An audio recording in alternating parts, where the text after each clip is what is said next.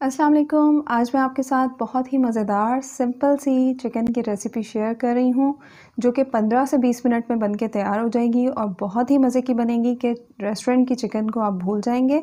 ज़रूर ट्राई कीजिएगा। वीडियो अच्छी लगे तो लाइक कीजिएगा। मेरे चैनल को सब्सक्राइब कीजिएगा। इसको बनाने के लिए मैंने यहाँ पर बोनलेस चिकन ली है, तकरीबन दो सौ पचास ग्राम टू ग्राम्स और हर पीस को इस तरह से एक इंच के क्यूब की शक्ल में काट लिया है और अब क्या करेंगे कि सब पीसेस के ऊपर एक दो चुटकी नमक छिड़केंगे।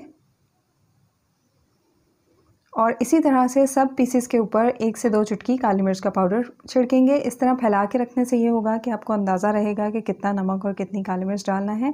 और इकट्ठे डाल देंगे और उनको मिक्स करेंगे तो बोनलेस चिकन नाजुक होती है टूटने का भी डर होता है शेप ख़राब होने का डर होता है। फिर इस तरह से हाथों में इसको हल्का सा आ, मिक्स कर लेंगे ताकि पूरे पीस पे अच्छी तरह से नमक और काली मिर्च लग जाए। उसके बाद पीसेस को इस तरह से हम एक स्टिक पे लगा लेंगे। ये स्टिक बहुत आसानी से मिल जाती हैं।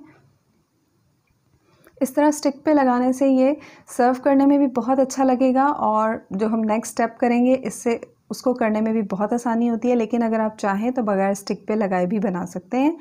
और इसके बाद मैंने यहाँ पे लिया है एक कप ब्रेड क्रम्स आप बाज़ार के भी यूज़ कर सकते हैं और घर पे भी बना सकते हैं। अगर आपको ब्रेड क्रम घर पे बनाने का तरीका देखना है तो आप मेरी वीडियोस में सर्च कर सकते हैं। आपको मिल जाएगा। ये मेरे होममेड ब्रेड क्रम्स हैं और इसके साथ ही मैंने यहाँ पे एक अंडा लिया है। इसको अच्छी तरह से फेंट लेंगे।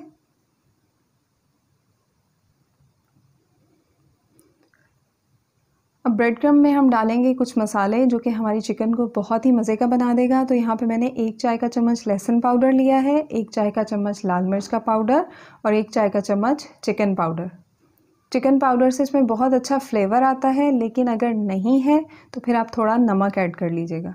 इसमें डाल देंगे और इसको बहुत अच्छी तरह से मिक्स कर लेंगे। ब्रेड क्रम्स हमारे तैयार हो गए हैं और अंडा भी हमने फेंट के रख लिया है। अब एक और चीज़ हमने इसमें यूज़ करनी है, वो है चावल का आटा। इससे बहुत ही ये क्रिस्पी क्रंची बनेगी।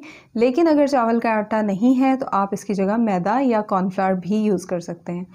तो अब हमने क्या करना है कि चिकन के पीस को लेना है और इसको हम पहले कोट करेंगे चावल का आटा।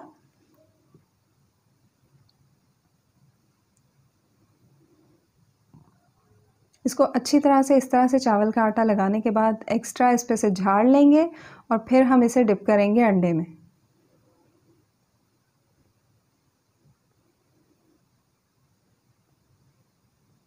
अंडे में डिप करने के बाद इसको बहुत अच्छी तरह से हम ब्रेड क्रम्स कोट करेंगे।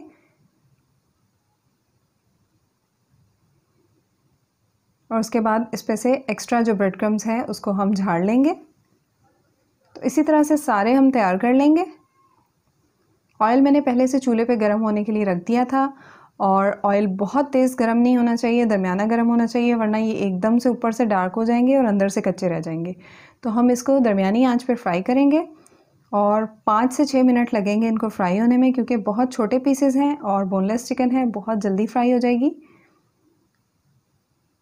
दरमियानी आँच पे इस तरह से पलटते हुए हर तरफ़ से अच्छा सा गोल्डन कलर आने तक हम इसको फ्राई करेंगे तकरीबन पाँच मिनट तक। और बहुत ही मज़ेदार हमारी चिकन जो है बन के तैयार है। ज़रूर ट्राई कीजिएगा और इस तरह से वेजिटेबल्स के साथ सर्व करें या सिंपल खाएँ। अच्छा लगे तो लाइक कीजिएगा और मुझे दुआओं में याद रखिएगा। अल्लाह हाफ़